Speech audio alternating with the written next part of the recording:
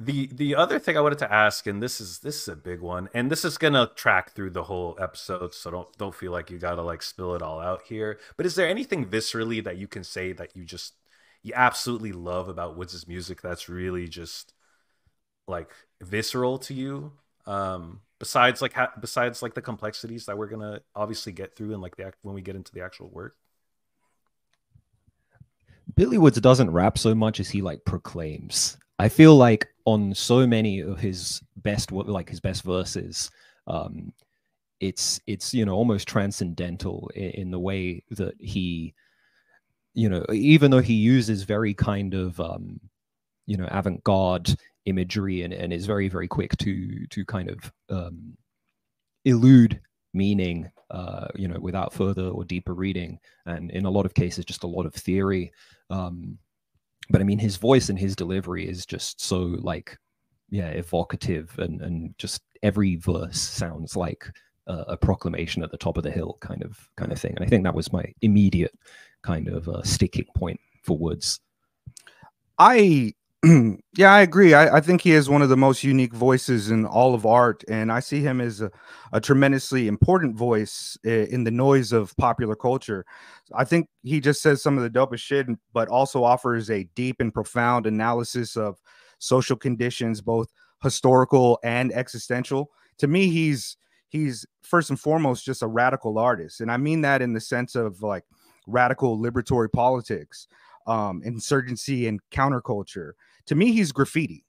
Um, I'm not talking about like street art murals. I'm talking about actual graffiti and going out and bombing. And bombing is the ne- least neoliberalized and commodified of the four elements of hip hop culture. First off, it's illegal. Most people don't like it. Most people can't read it. Uh, they don't get it. But there is a rich kind of uh, tradition of history, ethics, and politics associated with it graffiti offers like a, a little color and individualism to like the drab cityscape of hyper advertising. It's subversive and it reminds us um, that these places are ours. And graffiti is both lowbrow and highbrow art. So, in the tradition of like New York graffiti and rap, he's in that lineage of great artists. Uh, put up dope words, make them your own, freak the style, make people think, add a message, rep your people, beat the shit out of haters and toys, um, and do it in the illest way possible. To me, he is a very visual artist uh, that is very visceral. He paints pictures and scenes. Uh, I've called him the king of vignettes. Like the, the some of the some of the approaches and verses that he makes are just so artistic. Like you can compare it to um, actual visual scenes and and imagine the smash cuts and the changes of perspective and the little details that he'll put in just adding seeing a rhododendron on the side of this experience he's having. That gospel verse is a movie you know it, it is it is just something that's so incredible. To me he's a visual artist a vandal a radical guy and he even hides his face like a vandal you know, he, he he's he's hidden, he's a mystery. But unlike graffiti, which is very ephemeral and often taken down by by um you know the buff people cleaning the graffiti or people hating it unlike graffiti he's going to last a long time he he his his music is about survival and he evokes that feeling in me he he evokes he evokes like a deep black lens that just embodies what i call the black radical tradition you know um I can I feel like I'm talking for a long time, but I, I could go on. No, we'll, we'll, do plenty of that today. Yeah.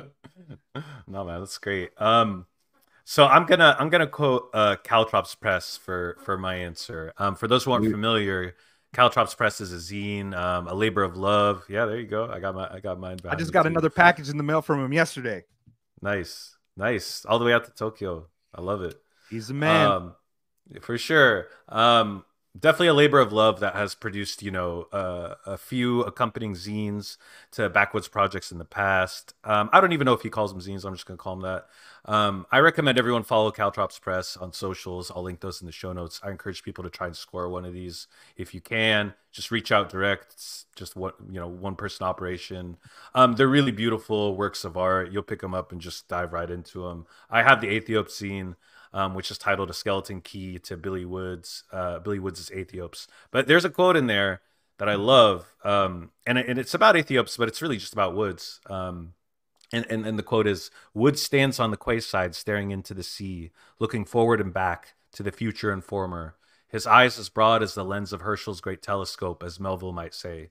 Come to think about it, Woods is an MC looking out like Big Daddy Kane on Raw and ODB thereafter, but not in a nervous sense. He's been patient, waiting till the sea calm. I'm like, oh, that's it. I love that. You know, you know, an artist is on top when when it can, you know, they can inspire that level of writing from a fan, right? Man, I, and I I haven't. That's where I first heard about him for the from the Skeleton Key for Aethiopes, and um, just looking into the work, uh, like I wish I was doing these type of deep dives like him. He is just tremendous. I've got the uh the itinerary for non-places, which is his work on Kenny Segal's and Billy Wood's maps. And mm-hmm. I'll probably read something out of that later when we're discussing that album. But he's he's doing the work. He's radical. He ties it into so many things. It is uh, I I don't have the words to describe how incredible his writing and his insight is for these pieces of work.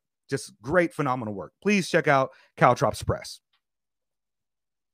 For real. Yeah. I mean, I think there's a few points during this where we'll probably be shouting out other sort of like content that is being made in uh in response and uh, of Woods' stuff and and it's really cool just to see how much high quality like labored over content is out there like already so you know that's why we take this seriously um you know body of work produces you know other other responses.